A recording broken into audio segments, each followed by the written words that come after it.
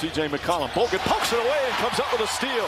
Here comes Curry. Curry will go in for the layup with a hyperextended knee as Curry. Curry starts to call a time. Steph Curry gets Curry. Little razzle dazzle against Harkless drive. Scoop layup on the floor. Curry gets a good look. Curry launches again. Throws it ahead to Curry. Curry for three.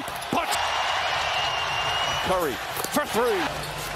Curry for three. Game clock.